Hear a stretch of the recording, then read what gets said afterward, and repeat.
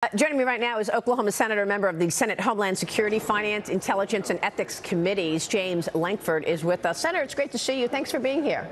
Yeah. Thanks, Maria. Good to see you again. Well, Antony Blinken just said uh, they're going to protect the homeland. They didn't protect the homeland after China uh, refused to admit a cover up of COVID 19 uh, after it escaped from the lab, and then uh, the CCP would not allow any investigation into it. They did not protect the homeland when uh, China was setting up these police stations across the country. And of course, there was no protecting of the homeland when they allowed a balloon, a surveillance tool, to fly across the country before shooting it down after uh, the balloon already sent uh, information back to Beijing in real time. How do you see this administration protecting the homeland? Yeah, so I would say the same way Antony Blinken just said it. He said they're trying to monitor what's going on. They're monitoring a balloon coming across. They're monitoring COVID 19 being released. They're monitoring China actually uh, aggressively moving against our economy and what they're doing in other areas of the world. Monitoring doesn't stop it. That's just saying, hey, we're aware of it. We need to actually engage in ways to actually stop the aggression against the United States. And if Antony Blinken wanted to make a good statement, instead of flying in an aircraft over into China, he should have taken a hot air balloon over into China and landed right there and to make a clear statement from the start. Oh, wow. Secretary of State uh, Blinken is claiming that the relationship between the U.S. and Beijing is now stable. He did meet with Xi Jinping for about uh, a half an hour on Monday, we're told. President Biden and Blinken are now giving China's leaders a pass, a free pass for that spy balloon incident. Was there ever any pushback on the spy balloon?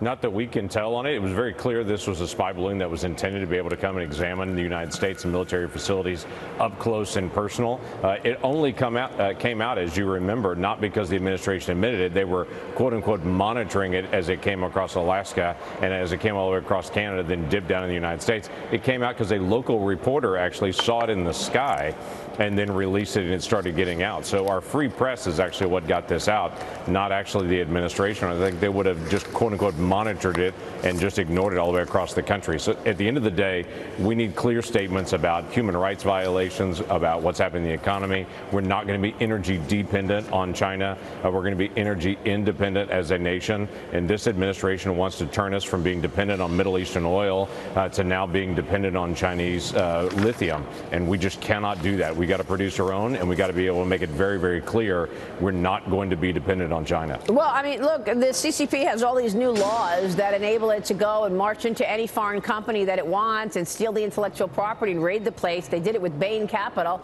Uh, and uh, that's only one of, of, of, many companies that they've done it. They have the PRC counter espionage law, the anti monopoly law, the national intelligence law of the People's Republic of China, the PRC anti foreign sanctions law, the unreliable entities list. I mean, all of these can land you in a prison in China. Yep, they sure can. And Plus, in, in, addition to all that, if you're a Chinese company, then you have to be able to turn over all data, all information at any point to the Communist Party. So you've got any entity that's doing business in the United States, the Communist Party also has access to all of that information as well. So Chinese government's buying up land all across the United States.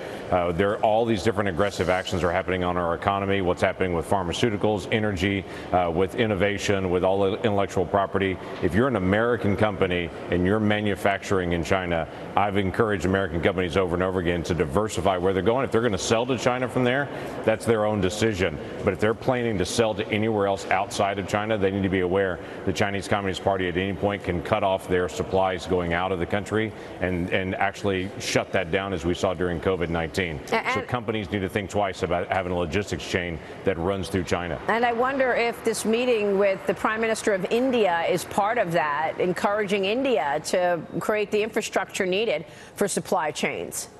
I, would hope so. I would hope with the Prime Minister of India, it's not only talking about religious freedom issues that they've got right now, it's a challenge, but also supply chain issues. They've got a great economy, great opportunities, but also they're buying oil from Russia right now and literally sending cash to Russia. That's facilitating the attacks on Ukraine. I would hope that we would bring that up with the Prime Minister of India as well. Well, I'm just trying to understand, though, why we have such a soft approach to communist China. With all of these provocations, from the spy surveillance balloon to the years of intellectual property theft, theft that have cost our company $600 billion a year at least. And, and yet, We don't have any accountability. The president has still not brought up COVID 19 leaking from a Wuhan lab and insisting an investigation. He, hasn't addressed the spy balloon, and now they say they're moving on. Is it because he's compromised after his family has taken in all this money from Communist China, among other foreign nationals? We know Hunter Well, Biden is not expected to serve any prison time. He reached this plea deal on the federal gun and tax crime charges. Uh, you've got celebrities like Pete Rose, Kodak Black, Mike the Situation, uh, Sorrentino, all committing similar crimes. They served prison time. Christopher Bedford writes in the Federalist Hunter Biden's plea deal is a cover up disguised as justice. Senator, do you agree? Yeah, I do agree, actually. in the, the most basic elements, when you start talking about the foreign policy to China, quite frankly, this administration has a weak foreign policy worldwide. We don't have strength anywhere in the world right now in, uh, in our influence. So that's that's one issue. But the Hunter Biden issue, especially on the gun crime, when you lie on a gun form, this administration keeps talking about gun crimes, gun crimes, gun crimes. We got to do more uh, to be able to prosecute gun crimes. And then, literally, immediately, when gun crimes come to their front door, they immediately just dismiss them and say, oh, no, we're, we're we're not going to pay attention to any gun crimes like that. This sets a precedent for every one of those lie and buy forms for the rest of this administration and multiple others to be able to say, we don't prosecute if you actually lie on your gun form. That is the essential part of the first part of the buy, and they just basically neutered it. Well, I mean, look, it, the, the bottom line is how does the DOJ defend prosecuting income tax fraud without actually investigating the income? And where that income came from. Can you say, oh, Hunter Biden, you didn't pay taxes on all these millions without saying, where did these millions come from? What is your business? You have no business, and yet you got tens of millions of dollars from foreign adversaries? That is correct. And it, again, where did all this money come from? How did that money actually get there? What was the influence that actually connected?